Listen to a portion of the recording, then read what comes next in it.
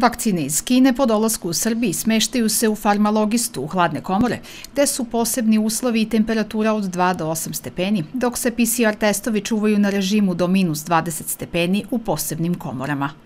Mi da odmah učitavamo e, njihove parametre pomoću data logera i šaljemo kinezima da je transport i u Srbiji i u toku avionskog transporta bio adekvatan. Tako da obezbeđujemo da se bezbedni i kvalitetnost leka sačuva.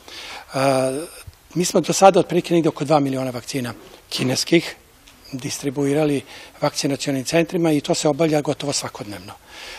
I kada građani vide da ta vakcinacija ide tako tako zadivljujuće lagano i da nema redova, da nema čekanja. Mi smo jedan od tih u lancu koji noću, najčešće noću, isporučuju, popunjavaju one frižidere na kojima se nalaze vakcine.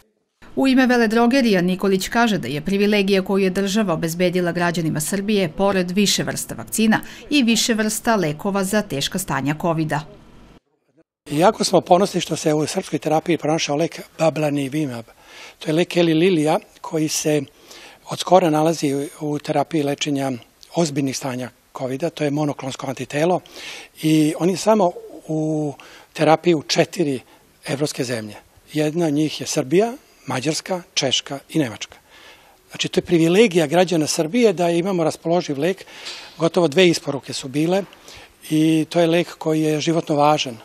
Nikolić podsjeća da se već duže vreme koriste lekovi Actembra i Favipiravir kao značajni u terapiji covid i dodaje da građani Srbije imaju privilegiju ne samo kroz izbor vakcina, već i terapije lekovima koju mnoge zemlje trenutno željno očekuju.